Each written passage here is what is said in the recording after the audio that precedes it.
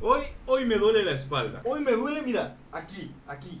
Cerca del culo. El día de ayer estuve chambeándole reduro. Me pusieron de a Cenicienta. ¿Y cómo duele ser Cenicienta, eh? ¿Cómo duele? ¿Qué tal, chicos? ¿Cómo están? Bienvenidos a un nuevo video. Pues bueno, chicos, el día de hoy vamos a hablar del supuesto tema viral, del supuesto tema polémico que se ha hecho últimamente en las redes sociales. Y digo supuestamente porque realmente no se hizo tan viral como supuestamente debería haberse hecho. Vamos a hablar de Annabelle. Para el que no conozca esta muñeca diabólica, que dudo mucho que no la conozcan, porque a día de hoy yo creo que muchos, incluso las personas que no vemos películas de terror eh, muy seguido, la conocemos, pero aún así te voy a contar quién es. Esta muñeca diabólica barra poseída apareció en la saga de películas El Conjuro, la cual fue basada en hechos reales. Si no lo sabías, probablemente te acabo de sacar un pedote. Si no, pues bueno, ni pedo. Supuestamente esta muñeca escapó hace unos días del museo de los Warren, un lugar en donde la mantenían encerrada o bueno, al menos en cautiverio, porque desde el 2019, en el momento en que la fundadora de este museo murió, las puertas de este museo han estado cerradas. En este museo, por lo que he investigado, han guardado más cosas además de Annabelle. Muchas cosas que eh, se refieren a lo que sería la magia obscura y más que nada el ocultismo. Estuve investigando un poquito y estuve viendo las criaturas que, eh, bueno, al menos los recuerdos que se llevaron estos dos expertos en el ocultismo. Y digo dos expertos porque los que fundaron este museo fueron dos personas, fueron los esposos Warren. Y bueno, estos fueron los fundadores de este museo. No quiero entrar en mucho detalle porque sería agrandar este video, lo cual no quiero. Pero es importante que sepan un poquito de lo que serían los inicios para que puedan comprender de qué museo estamos hablando. Hace unos meses se dio la noticia supuestamente de que Annabelle había escapado. Así como a muchos les causó un poco de incertidumbre, a muchos también les dio completamente igual. E incluso hicieron muchísimos memes sobre este tema, los cuales por cierto son muy graciosos. Pero bueno, en realidad no se hizo un tema bastante polémico, ni siquiera tampoco tan viral, porque esta noticia hizo dudar a muchas personas si eso es fake o es real. Hoy quería comprobarles un poquito de lo que es esta noticia y pues comprobar si esta noticia es real. Al investigar un poco y al estar buscando un poco lo que sería lo del museo, encontré un video el cual nos avala lo que sería eh, que es fake esta noticia. Un cuidador del museo, que sería uno de los que, de los que resguardan a estas eh, criaturas o bueno, a estos personajes, barra recuerdos de ocultismo, hizo un video frente a la vitrina en donde tenían encerrada a Annabelle, diciendo que era completamente falsa la noticia y diciendo que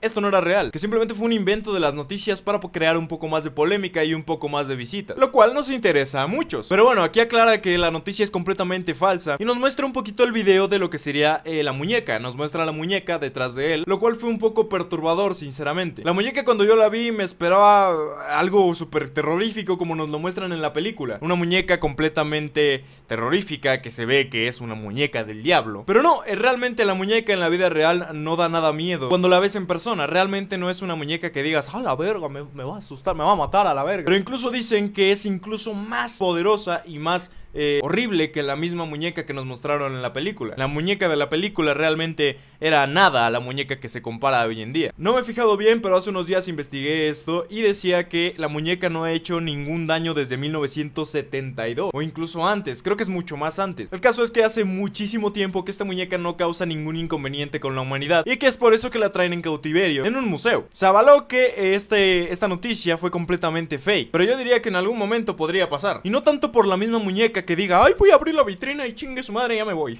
no, más que la misma muñeca, yo creería que una persona que se encarga de este pedo del ocultismo llegue con la muñeca, la posea otra vez y, y haga un pedo más grande del que ya tenían creado. Esto sí te lo creo. ¿Por qué? Porque yo no soy creyente tanto de que una muñeca me pueda venir a matar. Ahora, no estoy diciendo que quiero que me vengas a matar. Al chile, mira, me voy a cagar. Pero bueno, el caso es que yo no creo en esto. Creo más que hay personas malas que pueden encargarse de poderes más allá de sus propias, de su propio poder de, ellos mismos y creen un pedo mucho más grande. Eso sí te lo creo, pero no puedo creer que una misma muñeca pueda salir por sí sola de un museo en donde supuestamente la tienen resguardada y saben cómo cuidarla. Déjame tus conclusiones aquí abajo. Me interesaría mucho saber también una historia conspirativa y en una de esas probablemente hacemos una historia por aquí. El video del cual te hablo te lo voy a dejar aquí abajo en la descripción y también te lo voy a poner en este video para que puedas observar lo que sería eh, la misma muñeca y veas lo perturbador del caso. Sinceramente, para hacer un museo de ocultismo, eh, la verdad es que sí da miedo yo no entraría a este tipo de museos principalmente porque se sienten vibras bien pesadas, bien feas y yo no a mí no me gusta meterme nada de estos pedos, pero sí se ve que es un museo bastante terrorífico y bastante curioso, sinceramente. Pero bueno, te lo voy a dejar aquí abajito, al igual que mis redes sociales, en las cuales me encantaría que me siguieras más que nada en Instagram porque es en donde más activo estoy y en donde más historias hago sobre mi propia vida y sobre el canal. Así que si me puedes seguir por ahí te lo agradecería muchísimo. También hago directos muy constantemente y estoy empezando a hacerlos más constantemente porque estoy viendo que el rendimiento ha bajado un poquito.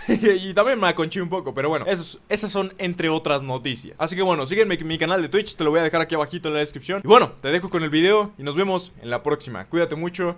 Y espero no te aparezca Anabel abajo de tu cama y te jale las patas. Cuídense mucho, nos vemos, bye bye. Hi, I'm Chris McKinnell from the Warren Files. It seems that there's something really crazy going on right now, and there are rumors flying all over the internet that Annabelle has escaped from the museum and that she's out there. I promise you this is not true. We know how to take care of Annabelle. It has not moved or harmed anyone since 1975, and you have absolutely nothing to worry about. Hi guys, Tony Sparrow here.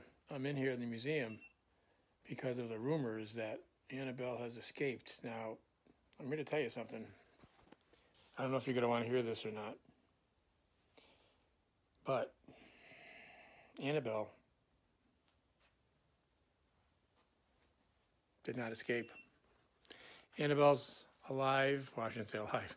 Annabelle's here uh, in her, all her infamous glory.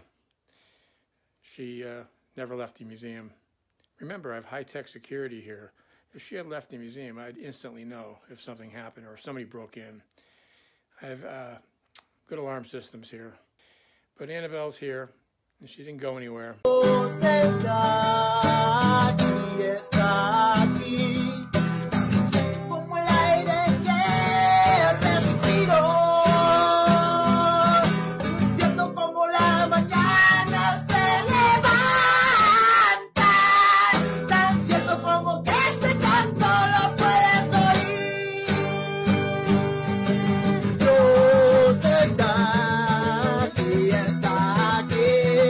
Ya me enojé, puta madre.